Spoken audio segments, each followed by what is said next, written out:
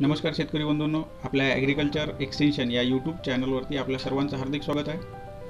आज आपण जी दुष्काळी परिस्थिती आहे ओला दुष्काळ याच्याविषयी आपण हितगुज करणार आहोत. आपण जर बघितलं वाशिम अकोला हिंगोली त्यानंतर यवतमाळ परभणी जालना औरंगाबाद अशा आजूबाजूच्या जवळपास सर्वच जिल्ह्यामध्ये सध्या ओल्या दुष्काळाची परिस्थिती आहे.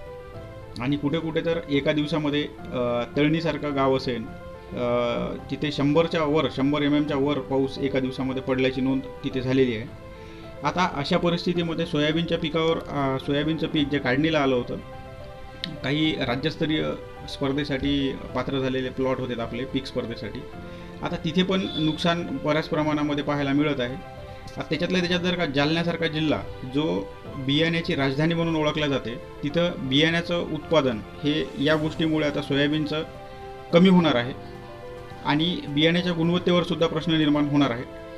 असो आता आपल्याकडे बाकीचे जे पिकं आहेत ते कसे वाचवायचे आणि याच्या समोर आपल्याला काय करता येईल? किंवा कॉटन आहे कपाशी आहे जी आणखीन पुढे चालणार आहे तर हे पिकं कसे वाच वाचवायचे? तर सर्वात पहिल्यांदा आपल्याला एक गोष्ट लक्षात घ्यायची आहे की ज्या वेळेस झाड जमिनीमधून काही पण घेतं तर हे पाण्याच्या माध्यमातून घेतं. काही पण म्हणजे खतं असतील खतामध्ये मग सूक्ष्म अन्नद्रव्य असतील अन्नद्रव्य असतील वेगवेगळ्या प्रकारचे औषधं असतील इन्सेक्टिसाईड फंगिसाईड आहे ना?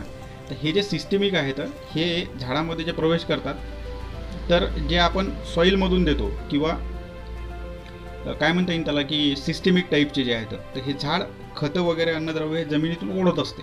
आणि ते पाण्यासोबत हे सर्व गोष्टी आतमध्ये जात असतात. पण सध्या शेतामध्ये पाणी एवढं भरपूर आहे की जर आपण अशा प्रकारचे फंगीसाईड म्हणजेच काय म्हणता येईल त्याला बुरशीनाशक आपण जर टाकलेत तर झाडामध्ये त्याचा आपटेक होणार नाही. मग आपल्याला आता कोणते इथं बुरशीनाशक सर्वात चांगलं काम करते? ते काम करणार नाही असं नाही ते काम करेन. पण सर्वात चांगलं काम कोणचं बुरशीनाशक करते तर ते स्पर्शजन्य बुरशीनाशक सध्या काम करते. जेणेकरून ते कॉन्टॅक्टमध्ये आल्याच्यानंतर फंगीसाईडच्या ते त्याच्या बॉडीमध्ये जाईल आणि फंगसवरती काम करेल. तर आता कॉटनसाठी आपण असे जर सांगायचं झालं एक सोपं फंगीसाईड तर कॉपर ऑक्झिक्लोराईड तुम्ही कोणत्याही कंपनीचं घ्या. म्हणजे शासन मान्यप्राप्त आणि लेबल क्लेमनुसार त्याची फवारणी तुम्ही तिथं करू शकता.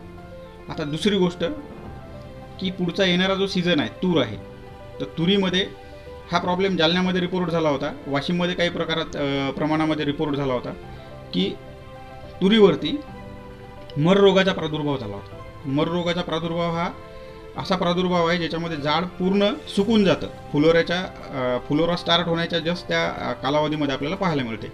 आता हे का होतं?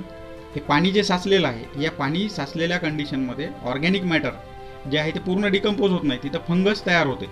आणि फंगस तयार झाल्याच्यानंतर ही आता त्याच्यामध्ये तीन चार प्रकारच्या फंगस आपल्याला सर्व माहिती आहेत. ज्या विल्टिंग कॉज करतात. त्याच्यानंतर हरभऱ्यामध्ये पण मर नावाचा रोग आहे तो आपण भरपूर प्रमाणामध्ये ऐकतो. जर आता ही फंगस तयार झाली अशा कंडिशनमध्ये तर ते पुढे काय करणार आहे आपल्याला? तुरीला नुकसान करणार आहे. आणि हरभरा जो लागणार आहे आपला तर त्यावेळेस पण मरचं प्रमाण हे जास्त राहणार आहे. जिथं पाणी साचून आहे सध्याच्या कंडिशनला तर आपल्याला काय करणं आहे तिथे? तिथे आपल्याला ट्रायकोडर्मा हे जे फंगीसाईड आहे जैविक आहे हे आपल्याला शेतामध्ये टाकावं लागेल. आता हे ट्रायकोडर्माच का टाकायचं? तर ट्रायकोडर्मा याच्यासाठी टाकायचं आहे की हे जे बुरशी आहे ही दुसऱ्या बुरशीवरती जगते. म्हणजे ही तेव्हाच जगू शकते जेव्हा जमिनीमध्ये बुरशी असेल. मग तुमच्या जमिनीमध्ये जर का अशा हानिकारक बुरशी असतील ज्याच्यामध्ये फ्युजेरियम आहे रायझोक्टोनिया आहे ना? आता असे सर्व जे काही फु बुरशी आहेत फ्युजेरियमसारख्या विल्ड कॉज करणाऱ्या तर आता ह्या पिथियम आहे आहे ना? तर ह्या ज्या बुरशी आहेत याच्यावरती ती उपजीविका करणारी बुरशी म्हणजे आपली ट्रायकोडर्मा. तर ही बेनिफिशियल आहे.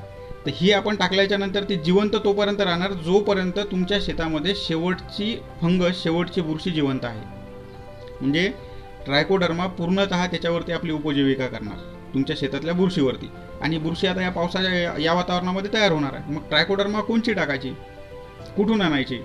तर तुम्ही आपल्या महाराष्ट्र शासनाचे किंवा केंद्र शासनाचे जे के व्ही के आहेत महाराष्ट्र शासनाचे जे काही मान्यताप्राप्त काही इन्स्टिट्यूट आहेत जिथं याचं प्रोडक्शन होतं किंवा तुमच्याकडे आणखीन खूप पर्याय आहे आपल्याकडे की युनिव्हर्सिटीज आहेत आपल्या विद्यापीठं.